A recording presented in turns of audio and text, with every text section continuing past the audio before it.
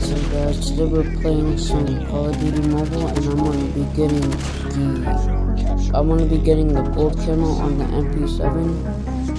Now I'm just showing you guys some gameplay because I've been dying so much like in that gameplay.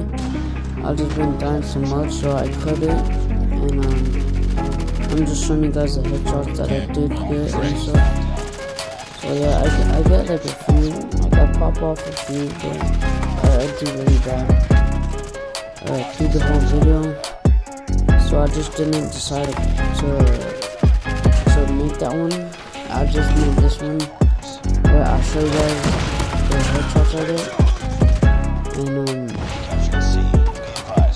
yeah, I mean it's not like a long gameplay. I did it for like I only showed you like half of the uh, first one of the first domination map. So I showed you like um like only part of it. So right here we're just gonna switch to the gold camo which looks amazing. Um and we go into a training lo lobby. Excuse me. But yeah, we go into a training lobby. I don't know what I was doing right there